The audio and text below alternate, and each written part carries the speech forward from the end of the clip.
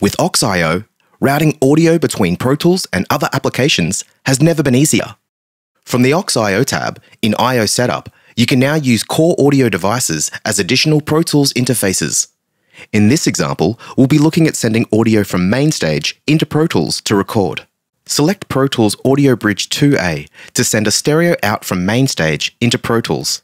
If you want to send individual stems from MainStage, you will need to use 6 channels or higher.